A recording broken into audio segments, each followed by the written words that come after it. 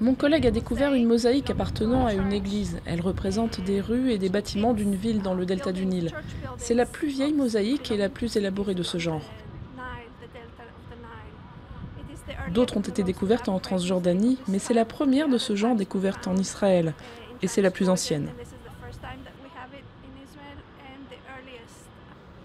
Cette mosaïque est très élaborée, les pierres sont très petites, il y a 17 couleurs différentes. Elle contient également des morceaux de verre.